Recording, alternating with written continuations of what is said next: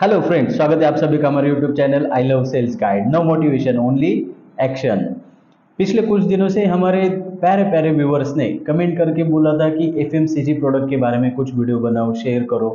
तो एफएमसीजी का प्रोडक्ट क्या है? एफएमसीजी क्या है? थोड़ा सा उसके बारे में पहले जान लेते हैं.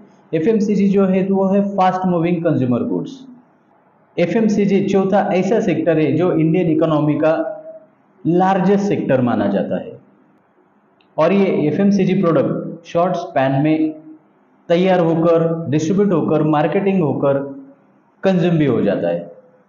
एफएमसीजी जो है, ये बी और बी दोनों में सेल कर सकते हैं। बी मतलब बिज़नेस टू बिज़नेस बी मतलब बिज़नेस टू कंज्यूमर अगर आप होलसेलर और डिस्ट्रीब्यूटर को सेल कर रहे हैं तो ये बी बिज़नेस हुआ। अगर आप एंड यूज़र को एंड कंज्यूमर को सेल कर रहे हैं तो ये बी बिज़नेस हुआ। इसमें लो प्रॉफिट मार्जिन ज़रूर है, लेकिन हाई वॉल्यूम सेल है बल्क में सेल है। आइए अब देखते हैं कि एफएमसीजी प्रोडक्ट के कौन से कौन से टाइप्स है।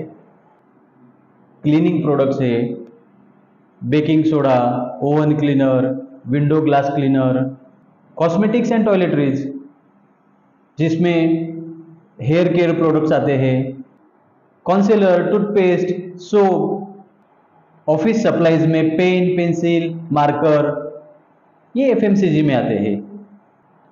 मेडिसिन भी एफएमसीजी में आते हैं।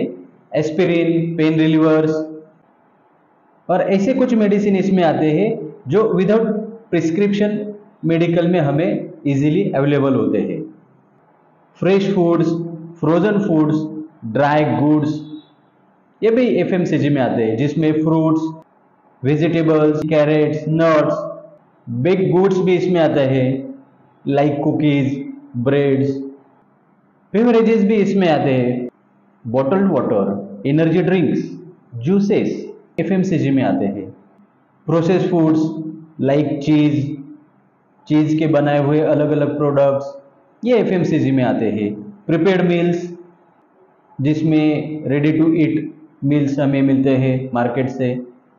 ये सारे टाइप्स जो है, ये एफएमसीजी के टाइप्स है। अब बात करते हैं एफ़ के नए प्रोडक्ट को सेल कैसे करें। इसमें हम लोग कॉमन बातें डिस्कस करेंगे, क्योंकि हर प्रोडक्ट की स्ट्रेटजीज कुछ हद तक अलग अलग होती है। इसमें सबसे पहले हमें हमारे एफएमसीजी प्रोडक्ट का एंड यूज़र कौन है, यानी कंज्यूमर कौन है, उसे आइडेंटिफाई करना होगा।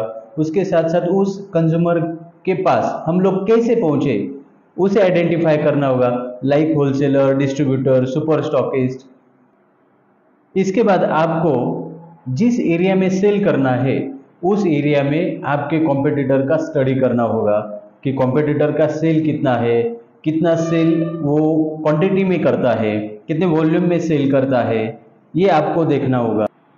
पूरी डिटेल्स तो आपको नहीं मिलेगी, लेकिन अप्रोक्सीमेटली फिगर आप पता कर सकते हो, जिससे आपको स्टडी करने में आसानी होगी। और सबसे इंपॉर्टेंट आपका कॉम्पिटिटर उस एरिया में, उस जोन में कहाँ कहाँ नहीं पहुँच रहा है। उस एरिया को आपको आइडेंटिफाई करना होगा और उसी एरिया को आपको पहले टारगेट करना होगा। और उसके बाद में आपको ये भी आइडेंटिफाई करना होगा कि आपके कॉम्पिटिटर की वीकनेस क्या है। और उसी कॉम्पिटिटर के वीकनेस को आप आपकी स्ट्रेंथ बना सकते हो। और अब इसके बाद आप आपके खुद का मार्केटिंग प्लान तैयार करो, जिसमें मार्केटिंग से लेके मार्केट से पैसा रिकवरी होने तक का पूरा प्लान होना चाहिए। और इसमें इम्पोर्टेंट और एक बात है कि आपके प्रोडक्ट की इन्वेंट्री और वेयर हाउस मैनेजमेंट बहुत ही परफेक्ट होना चाहिए।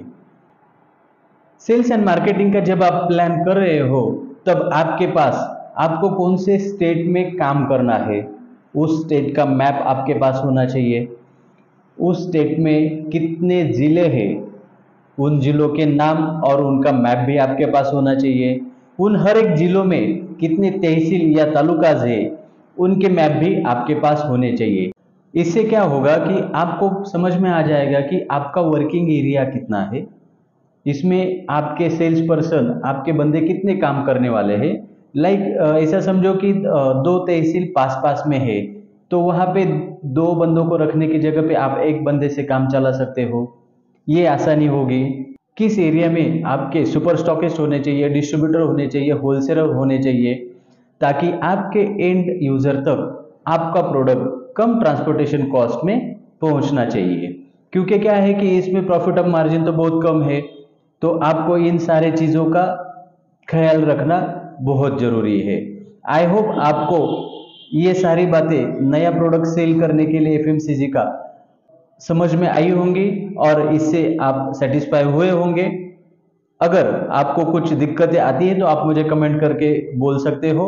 और एफएमसीजी का प्रोडक्ट सेल कैसे इंक्रीज किया जाए, इसके बारे में डिस्कस करेंगे आगे के वीडियोस में। तब तक नमस्ते, फिर मिलेंगे।